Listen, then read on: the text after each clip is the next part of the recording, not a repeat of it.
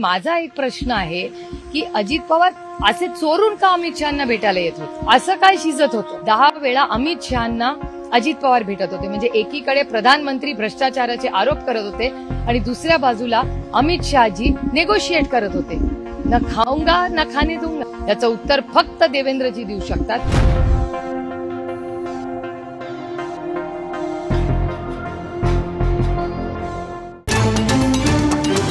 हा भारतीय जनता पक्षाचा अंतर्गत प्रश्न आहे. काही काही दिवसांपूर्वी दिल्लीत आले होते त्यांनी पत्रकारांशी काही गप्पा मारताना काही खुलासे केले होते.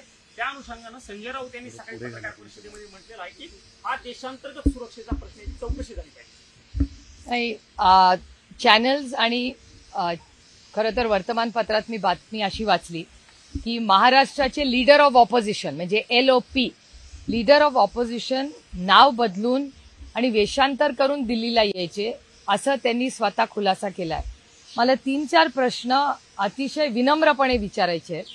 एक तर तुम्ही एलओपी होता. एलओपी असताना तुम्ही अमित शहाना का भेटत होता? ते पण तुम्हीच कबूल करता की तुम्ही चोरून भेटत होता? म्हणजे तुम्ही लीडर ऑफ ऑपोजिशन असताना महाराष्ट्राला कॉम्प्रोमाइज करत होता.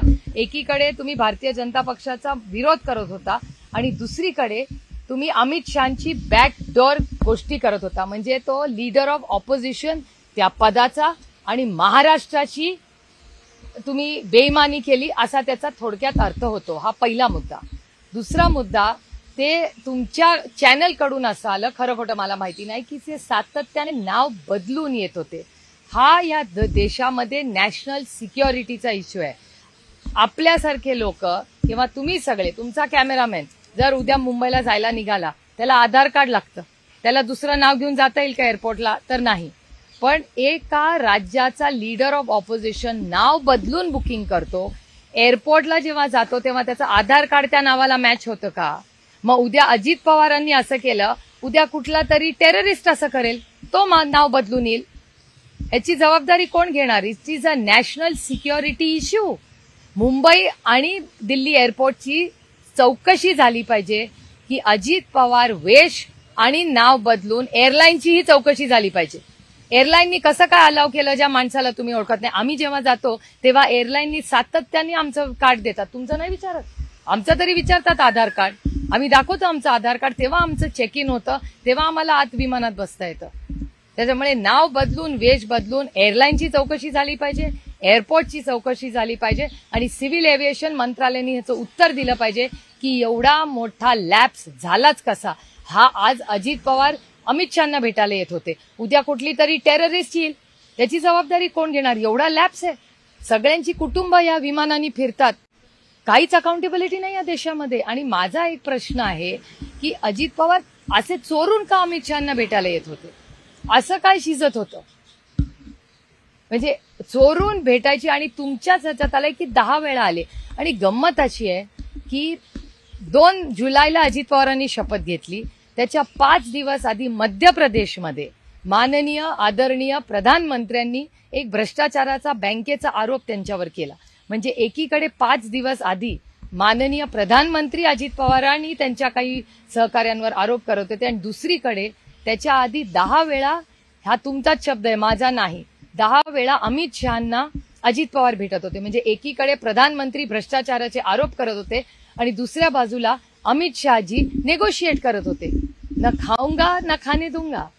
मग हे वॉशिंग मशीन नाही झालं. म्हणून तर लोक म्हणतात की भारतीय जनता पार्टी ही भ्रष्ट जुमला पार्टी आहे. ते वॉशिंग मशीन मधून लोकांना आरोप खरे होते का खोटे होते मला माहिती नाही.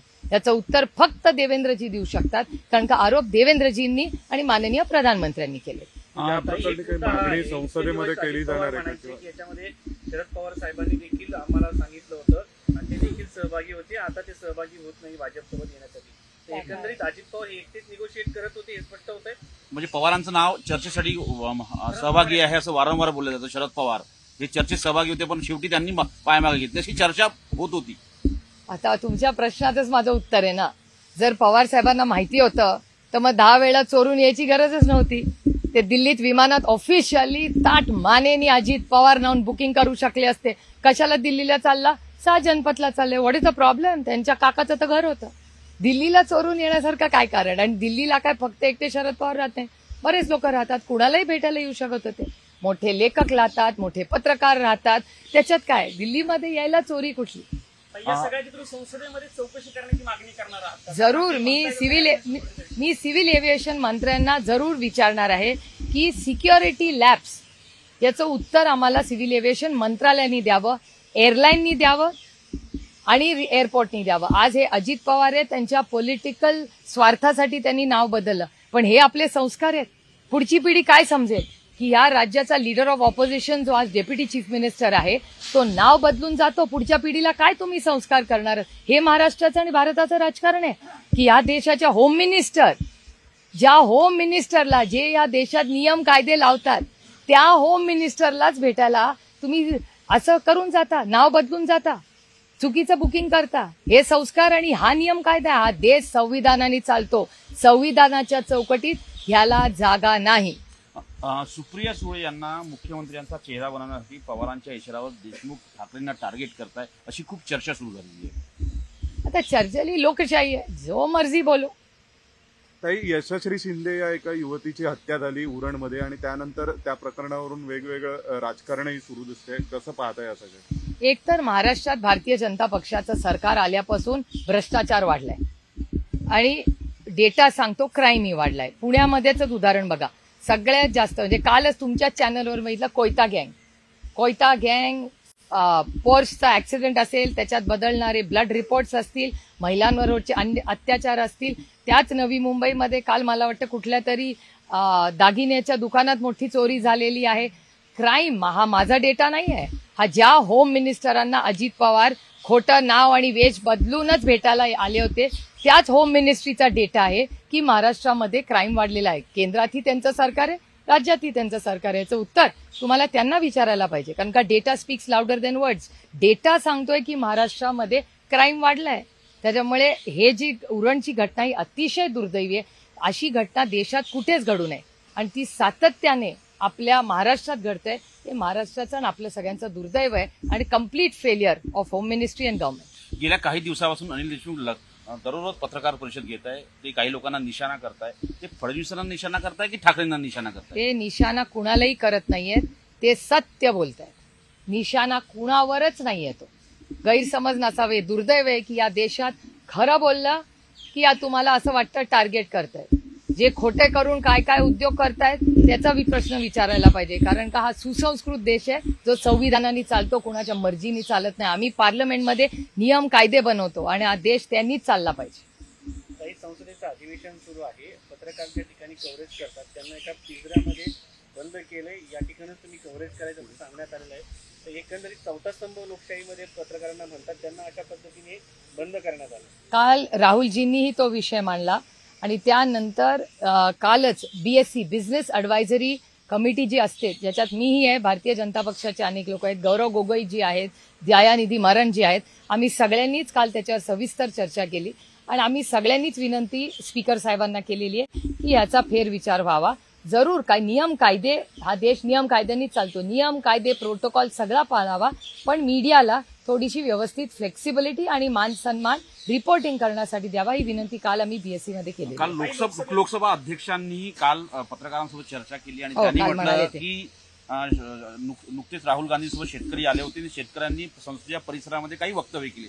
त्यानंतर आम्ही दिशानिर्देश लागू केले. पण महत्वाचं म्हणजे जेव्हा सरकार गेल्या सरकारमध्ये स्थापना होत होती तेव्हा अनेक चित्रपट अभिनेत्री आल्या होत्या. हो. अनेक जण आल्या होत्या त्या खूप काही बोलल्या होत्या. त्यांच्यावरती दिशानिर्देश आणि नव्हते हो.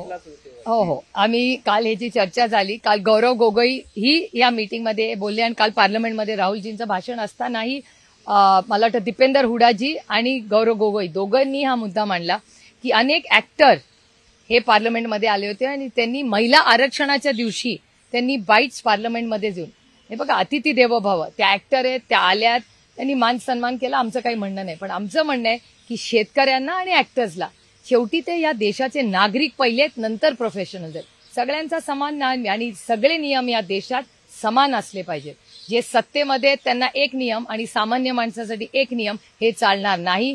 हा देश भारतरत्न डॉक्टर बाबासाहेब आंबेडकरांच्या संविधानानेच चालतो ज्याच्यात प्रत्येक व्यक्ती समान आहे. लोकसभेमध्ये जे लोकसभेमध्ये जे राज ठाकरे महायुतीसोबत होते त्या राज ठाकरेंनी आता एकला चलोचा नारा दिलेला आहे. आणि त्यानंतर राज ठाकरेंनी सगळ्याच पक्षांवरती टीका करायला सुरू केली. काल त्यांनी पुण्यात असं म्हटलं की पुण्यात दादा नसताना नेमकं पुढे आला असतं. राज ठाकरेंच्या अशा विधानांकडे कसं म्हणजे हे बघा ही हे लोकशाही आहे प्रत्येकाला बोलायचा अधिकार आहे. त्यामुळे काय फार प्रत्येक स्टेटमेंटला आपलं एक मत असलंच पाहिजे आग्रह कशाला? आणि आम्ही सगळे जे त्या भागातले लोकप्रतिनिधी आहोत त्यांनी मागच्या आठवड्यात आम्ही तिथे जाऊन दौरा मी असेल अमोल दादा असतील आम्ही जाऊन कलेक्टर कमिशनर यांच्या गाठीभेटी घेतल्या आहेत तिथे जाऊन दौरे केलेले आहेत. आमचे सगळे सहकारी पदाधिकारी धावून तिथे मदतीला गेलेत. मी स्वतः मोहळांशीही बोललेले जरी ते तिथले वेगळ्या विचाराच्या पक्षाचे आम- खासदार असले तरी आज ते केंद्रात मंत्री आहेत. त्यांच्याशीही सविस्तर मदत करून आम्ही कुठलाही पुण्याच्या पुरामध्ये राजकारण आणणार नाही. आत्ता लोकांना मदतीची गरज आहे त्याच्यात लक्ष घालून. पण जे लॅप्सेस आहेत त्याबद्दल महाराष्ट्र सरकार आणि पुण्याच्या प्रशासनाला उत्तर द्यावंच लागेल. कारण का मी त्याची इन्क्वायरी मागितलेली आहे की जेव्हा पाणी सोडलं खडकवासला धरणातून तेव्हा लोकांना सांगण्यात का नाही आलं? आणि एवढी मोठी गॅप जे मी मोहळांचेही आभार मानते की त्यांनी मान्य केलं. की इरिगेशन खातं आणि पुन्हा म्युन्सिपल कॉर्पोरेशनचा मिसकम्युनिकेशनमध्ये झालंय. याचं उत्तर महाराष्ट्राच्या प्रशासनाला आणि सरकारला द्यावं लागेल. कारण का केंद्राचा मंत्रीही विचारतोय. मोहोळ आज फक्त महाराष्ट्राचे नाहीये देशाचे मंत्री आहेत. त्यांनी हा प्रश्न उपस्थित केलाय. त्याबद्दल मी त्यांचे आभार मानते. मोठ्या प्रमाणात वाढली आहे. आज देखील झारखंडला अपघात झाला. गेल्या आठव- आठवड्यात दिब्रुगडला झाला होता. रेल्वे अपघातांची दिवसेंदिवस संख्या वाढत आहे. या सुरक्षेच्या मुद्द्यावरून तुम्ही काय बोलला नाही नाही रेल्वेवर डिस्कशन आहे योगायोगाने आजच ते सुरू होणार आहे. आणि अनेक वेळा आमचं म्हणणं आहे की तुम्ही फंडिंगबद्दल बोलता. ती कुठली मोठी ट्रेन त्यांनी सुरू केली आहे. वंदे भारत. वंदे भारत. तर ते वंदे भारतचे कोचेस मोठे मोठे व्हायला लागलेत. पण जर सुरक्षितता त्याच्यात नसेल तर काय उपयोग त्या वंदे भारतचा? आणि ते बुलेट ट्रेनचं तर ऐकून ऐकून आम्ही थकून गेलो. कोणी मागत पण नाहीये ती बुलेट ट्रेन ती आपलं महाराष्ट्राच्या उगाच खर्च करून लोन घेऊन ते खापर कारण नसताना महाराष्ट्रावर देत आहे. ती बुलेट ट्रेन करण्याच्या ऐवजी आमच्या निलेश लंके कधीपासून आंदोलन करतायत त्या दुधाला आणि कांद्याला भाव दिला तर महाराष्ट्र जास्त आनंदी होईल त्या बुलेट ट्रेनपेक्षा मॅम दिल्लीत ओल्ड राजेंद्र नगरमध्ये तीन विद्यार्थ्यांचा मृत्यू झाला. त्याच्यानंतरच काल बुलडोझर चालवले गेले. किती हे फ्युचर आहेत देशाचे? आणि तेच स्वतः प्रश्न चिन्हामध्ये त्यांचा फ्युचर नाही, नाही अर्बन प्लॅनिंगमध्ये स्मार्ट सिटी नावाचा जो एवढा मोठा उपक्रम केंद्र सरकारने सुरू केला मला आठवतं व्यंकय्याजी जेव्हा युडी मिनिस्टर होते तेव्हा स्मार्ट सिटी म्हणून एक खूप चांगला कॉन्सेप्ट व्यंकय्याजीने आणला होता. पण या सरकारने दहा वर्षात काय केलं? पुणे खोटे स्मार्ट झालं का दिल्ली कुठलं शहर स्मार्ट झालं मला सांगा. पण त्यात काही महाराष्ट्राचे पण विद्यार्थी हजारोंमध्ये तिथे ओल्ड राजेंद्र सगळेच नगरमध्ये राहतात. शिकतात. आणि तर तुम्ही हा भेटायला जाणार हो visit अर्थातच करणार. आम्ही माहिती त्याची कालच घेतलेली आहे. काल आम्ही युडी मंत्र्यांशीही बोललो की नक्की ह्याचं काय प्लॅनिंग आहे. आम आदमी पक्षाशीही आम्ही कॉन्टॅक्ट केलेला आहे की बाबा ते इथे प्रशासनात आहेत. तर नक्की काय ह्याचं आम्हाला माहिती द्या. तर संजय सिंगजींची कालही माझं या सविस्तर याबद्दल बोलणं झालं. महायुतीमध्ये राज ठाकरे हे तिसरा भिडू ठरण्याची शक- शक्यता आहे. कारण तशी चर्चा सुरू झालेली आहे. अजित पवार बाहेर पडताय का? राज ठाकरेंचा समावेश महायुतीत होतो का? आता तो त्यांचा अंतर्गत प्रश्न आहे. त्यांच्या घरात हमगो क्यू झाके. आम्ही आमचं अलायन्सचं बघतोय. दुसऱ्यांना ते त्यांचं बघतील ही लोकशाही आहे. चालेल? Thank you very much thank you